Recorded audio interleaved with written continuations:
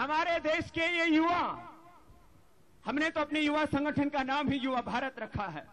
ये हिंदुस्तान का युवा भारत, जिस तथाकथित युवा को सोशल मीडिया और फेसबुक पर भोंदू और पप्पू कहता है, वो प्रधानमंत्री होगा तो फिर हमारा क्या होगा भाई? फिर हमारा